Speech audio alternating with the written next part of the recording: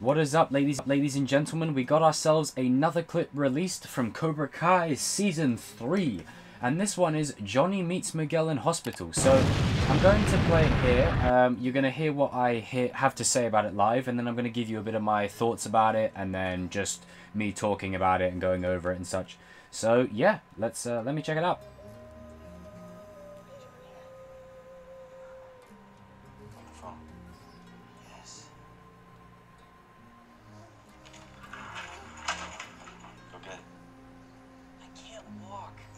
Surgery, I might never be able. Go ahead.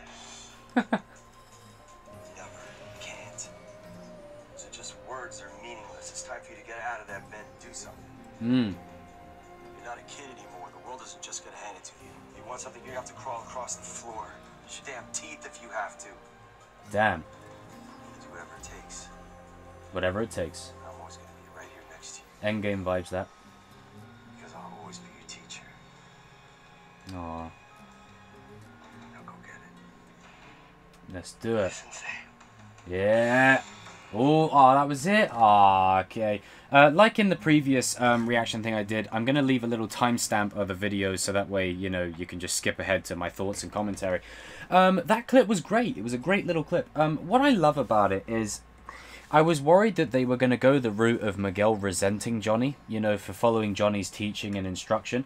But it feels like that bond is still there. It's still strong. It's still vibrant.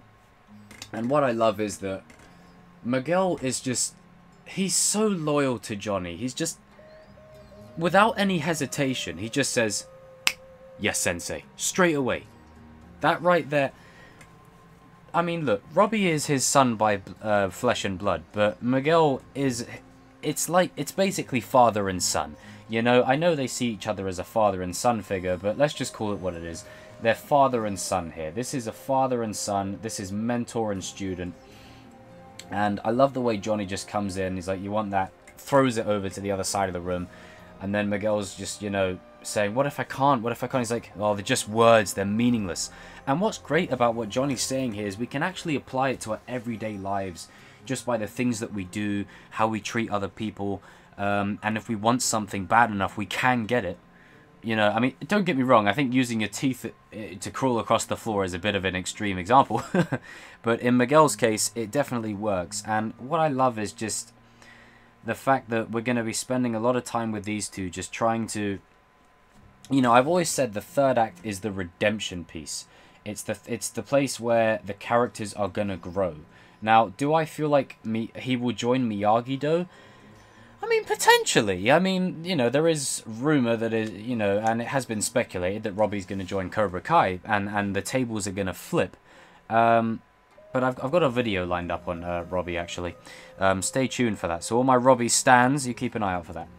But Miguel and Johnny here, I just love the bond between these two, and I just love the way that despite everything, Miguel is still adhering to what Johnny's saying.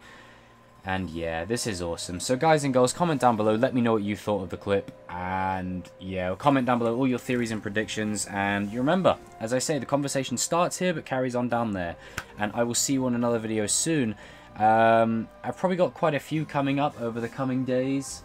And yeah, this this was awesome. This is just one of them things that just builds up my hype for Season 3 that much more and I cannot wait. I absolutely cannot wait to see the arcs that, that, that Miguel and Robby go on. These two are just...